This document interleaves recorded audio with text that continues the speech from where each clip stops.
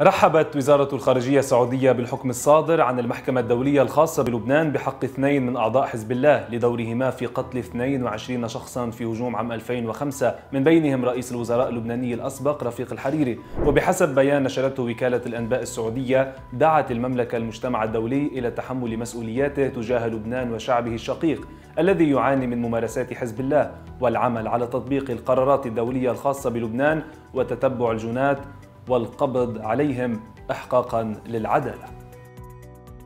قتل ثلاثة فلسطينيين فجر اليوم وأصيب عشرة آخرون في عملية شنتها القوات الإسرائيلية في جنين معقل الفصائل المسلحة في الضفة الغربية المحتلة وكالة الأنباء الرسمية الفلسطينية قالت إن الشبان الثلاثة قتلوا بعدما أصيبت سيارة كانوا يستقلونها بنيران القوات الإسرائيلية التي كثفت عملياتها في هذه المنطقة خلال الأشهر المنصرمة يزور ولي العهد السعودي الأمير محمد بن سلمان تركيا رسميا في الثاني والعشرين من يونيو حزيران بحسب ما أفاد به مسؤول تركي رفيع. زيارة ولي العهد السعودي ستكون الأولى إلى تركيا منذ مقتل الإعلامي السعودي جمال خاشقجي في قنصلية بلاده في اسطنبول عام 2018 ما أدى إلى توتر العلاقات بين البلدين.